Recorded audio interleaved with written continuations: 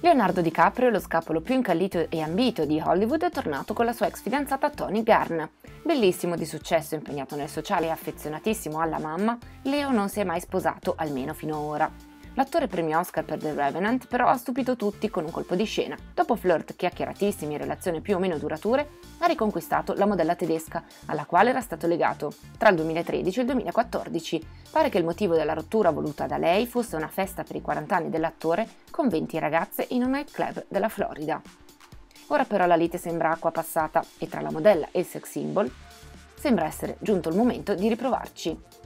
Dopotutto, Tony Garn è il suo tipo, bionda, modella e bellissima. Ne ha collezionate parecchie negli ultimi anni e spesso le sue conquiste sono ragazze mozzafiato del team di Victoria's Secret. L'ultima era stata la supermodella danese Nina Agdal, ma i due hanno interrotto la loro storia d'amore, durata un anno, lo scorso maggio. L'attore oggi 42enne, nel corso degli anni ha sempre avuto al suo fianco alcune tra le donne più belle al mondo.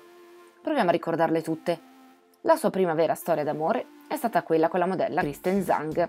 I due sono stati insieme dal 1996 al 1998, storia intervallata però da una sbandata per Elena Christensen, durata qualche mese nel 97. Nel 1998, dopo essersi conosciuti a una festa a Parigi, in occasione del lancio del film La maschera di ferro, Leonardo DiCaprio e Dave Zigova hanno iniziato una relazione durata non più di un paio di mesi.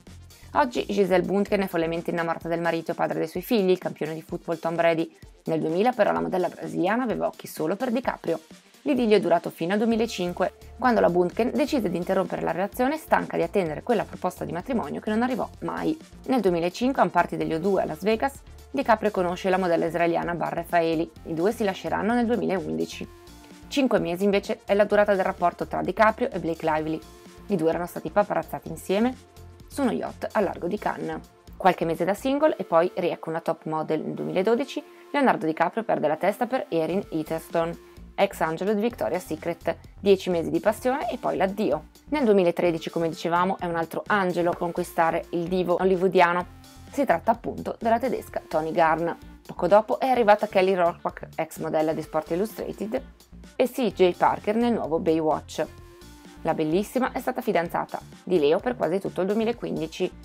Il 2016 è il suo anno, Leonardo DiCaprio vince il tanto agognato Oscar come miglior protagonista per The Revenant. Nella corsa alla statuetta conosce la conduttrice del programma I'm a Celebrity, Laura Whitmore, e se ne invaghisce a tal punto da volerla al suo fianco durante i festeggiamenti nel Post Academy Awards. Il dopo Oscar porta il nome di Chelsea Weimar.